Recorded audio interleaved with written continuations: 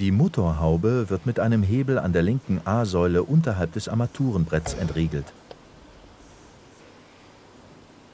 Nach Öffnen der Motorhaube, bei ausgeschalteter Zündung und kaltem Motor, ist die Kontrolle folgender Flüssigkeitsstände leicht möglich. Kühlflüssigkeit, Scheibenwaschflüssigkeit, Motoröl sowie Bremsflüssigkeit. Die Batterie hingegen ist wartungsfrei